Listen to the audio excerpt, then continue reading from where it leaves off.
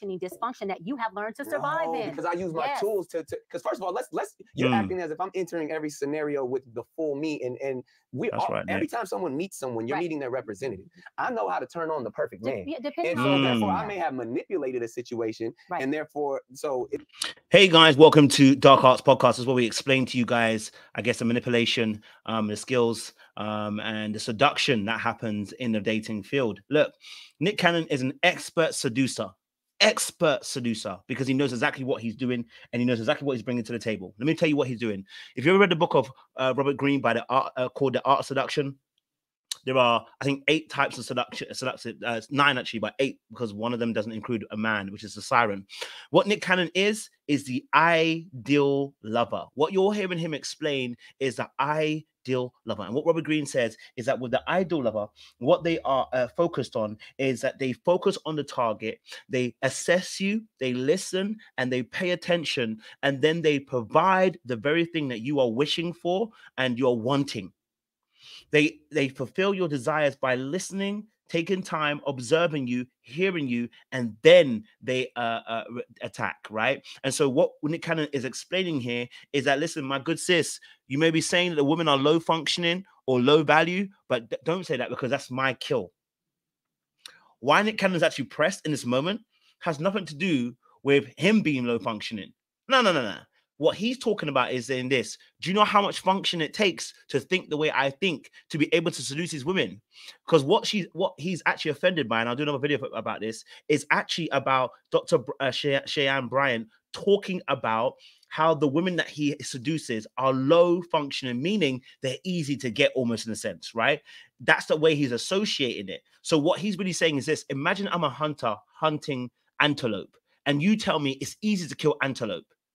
What you're really saying is my skills as a hunter is not great. But what he's saying is, do you know how much time and effort I have to put into seducing women? Do you know what I have to do to get them to a place that they are? Do you know what? Do you know how I provide an arena so they feel comfortable and feel special in my presence before I go for the kill? Oh no, no, don't don't talk about the the women like that because you're actually discrediting the work that I put into hunting. Hence why he called it predatory and manipulative because he's he's working at actually doing that. He actually works at seducing women, and that's what the ideal lover does. They work to seduce. They don't. They're not naturally gifted in that sense, but they they learn those skills by spending time with women, spending time in their presence, spending time getting to know them, spending time um, trying to understand them, and then they release their uh, their madness onto you. So let's listen a bit more. We're gonna break it down, but before we do, make sure you like, share, subscribe, click on that bell button for notification uploads as well. Let's go. It's to no discredit to anyone yeah, I else. but got you. I've come into every situation. I can be God fearing, celibate, the one Right, that you want. I can right. tell you everything that you want in a Right. man and show you that. I can Right. open the doors, lay down the cloak, send the jet, Mhm, do it mhm, all mhm, to be like, mhm, oh my mhm. goodness, there- no, I've never. And Now pause it right there. What did he just say to you? What did he just say? He just said, "Listen, I could be the God-fearing man. I could be this man. I could be that man. I could be that man. I can do this, this, and this." What he says is this: I can be whatever you want me to be, which is what Robert Greene actually spoke about in the Ideal Lover. The Ideal Lover is all about making sure that you listen, make sure you get to know what the, what what the, what gets the person ticking, um, and then making sure that you are uh, unpredictable, mysterious, and make the target feel special. And part of, and you know, I really do understand it because a lot of the time I spent in, you know, Egypt doing what I was doing, you actually, it's, it's it, for me, was more natural in the sense of because of my trauma, I and the work that I do where I interview people, I had been interviewing people for the last four years. I learned how to do what we call spotlighting, which is you put a spotlight on someone else and you ask them questions about themselves. Now, Robert Greene talks about this, saying that people are narcissistic. They want to know, they want to know that they're special and they want to talk about themselves. So, what I learned to do, not as a to try and seduce women, but as a seducing of when I'm doing interviews, was to spotlight the person. Don't worry about me. I want to know more about you. I'm intrigued by you. I'm interested by you. And by doing that, people started talking. And then I realized this is also a sedu- seduction technique that happens in the dating field. I learned that by listening, just spending time, you know, creating a, a, a, a- a- a- oh, okay. I didn't know that about you. Why do you actually feel that way? By almost playing a therapist, almost in a relationship aspect, you can seduce someone, which is why therapists end up seducing people, not on purpose, but because of tra- uh, what we call transference. People sen- end up finding their, their therapist attractive. And it's simply because they are doing something which is entering their spirit by continually asking questions about who they actually are.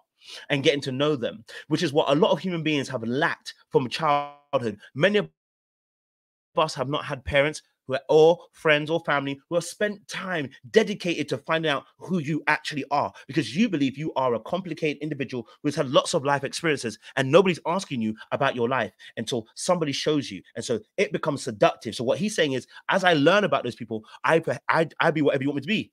Now how can he be whatever you want him to be except he understands who you want him to be? Which means he has to listen and he has to you have to talk and tell him what you want now, remember, obviously, Nick Cannon's got a little bit of an advantage here. He's Nick Cannon. He's not a normal person, which means he's going to combine two styles of seduction, which is number the other one is the star. The star is the one that intrigues the target by being a real yet being mysterious, represents escapism, fantasy, and dream. Nick Cannon, the women that he chooses are going to be of a lower value, right? And so, of course, he got Mariah Carey um, in that sense, and that's a different conversation in, in general. But the women that he's been impregnating after Mariah Carey have been normal women, right? They're not necessarily of the same value or um same uh um notorious notorious notoriousness as he is right? Like he's taking flights to go and see this child and go and see that child. Like just, that's not normal. And so he creates this ethereal ethereal uh, uh, uh, um aura around himself right? Almost like a godlike kind of aura that he can do anything he wants. He's free to do whatever. And that is a, a seduction aspect too because a person feels like if they're with nick cannon they can be free as well and so, combining the star and the ideal lover, two types of, of attraction here, what he gonna do is that he gonna become whatever you want him to become once he starts speaking. And now, what the crazy thing is this: you're probably gonna look at Nick Cannon and be like, "I bet he's like this. I bet he's like that." As a woman, right? But then when you speak to him, he's like, "Actually, he's really kind. He's actually caring." Right? There's a different side to Nick Cannon that I never saw. And what woman? The one thing that will seduce a woman is thinking that she sees a different side to what another to another woman sees the, the one thing about women that seduces them, that seduces themselves, is thinking that, do you know what? Because I'm there, I he shows me a different side. How many times you hear women saying they want to change a man or think that, that that them being there, they're gonna change him? Like, how many baby mothers has he got? Okay, let's play a little more. Then toxic Nick But shows look- no, but up, look at and what you you like, just- this but- motherfucker got me. No, but he what done you gave said me the perfect. draws, and I ain't heard from him in What you, three what you said is perfect. No, what you said. So did you hear what he said? He's very proud of his hunting. What he's trying to let her know is, listen, you're thinking that these women are not. You're thinking these women are not great. You think these women are not. They're not um smart. You think these women are easy. And what and what he's actually offended by is you are downgrading the work and effort I have to put in to get these women. Right? By you saying that they are low functioning, you're actually really saying that my work ain't on point. But my work is on point. Do you know what I have to do to get to these women? So as he's letting her know, listen, then th- these women are actually genuinely fooled. See, so what, what he's actually advocating for right now is to say, hey, I want to let you know that these women are generally fooled by what I've done because, of course, I created a mask, and my and my acting is so great and so amazing. Of course, you're gonna fall for it. You're not gonna you're not gonna you're not gonna realize. And what she's saying is making him feel like you're discrediting the work that I put in. You're discrediting the the acting that I'm doing. You're telling me my acting's not real enough. That's what you're really saying. That is perfect because you named all of the low functioning, superficial things that a low functioning woman would fall into. Church, Women, that ain't baby, low function. baby, any woman, we going to any woman, any woman or man. So what? So what? What's happening here is what he's saying is, a look, church is not low functioning. What he's really saying is, do you know how hard it is to play church? Do you know how hard it is to get a church girl? But in reality of the situation, she's also right because, like I said in the first video, the reason why people are getting seduced is because their authenticity of themselves. See, the one that's going to seduce me is going to be an area of my own weakness, right? Which is, I think, usually um a woman that is overly seductive is going to be uh, the siren. The, but siren gets everybody. For me, the siren's going to get me. You know what I mean? It, my I know my weakness. My weakness is a siren and the coquette. The coquette and the siren they get me because the coquette plays a hot and cold, and because of my mind always wants to understand why people do what they do. The coquette especially plays hot and cold. They they one minute they're good, the next minute they're not so good. So the coquette always gets me because I'm always trying to understand them. So if if I'm going to be seduced, it's by a coquette.